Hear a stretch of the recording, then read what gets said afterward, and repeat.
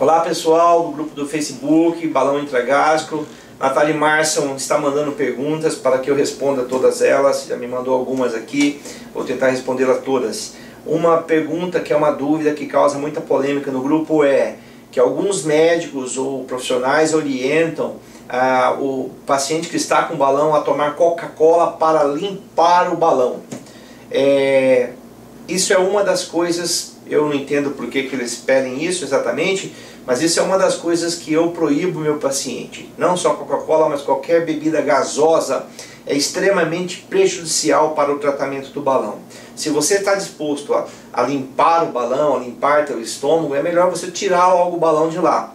Do que você, se você entrou num projeto de tratamento onde a nossa obstrução provocada por ele é importante e você toma algo que ajuda essa obstrução não acontecer, que ajuda essa, a saciedade diminuir, por que então manter o balão?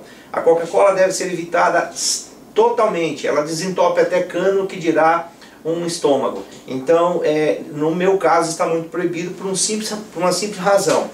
É, nós, quando a gente coloca o balão, a gente coloca o balão nesta região aqui, que é a região da saciedade. Tá? Aqui, o fundo do estômago é onde temos a saciedade do nosso corpo.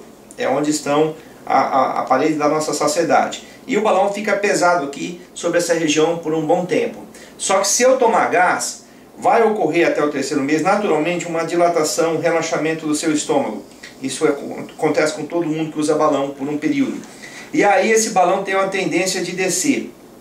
E ao final do terceiro mês é aqui que esse balão vai se encontrar. Por isso que a principal perca de peso com o balão é nos três primeiros meses, porque o balão está exercendo mais efeito quando ele está em cima, mas ele acaba descendo para baixo.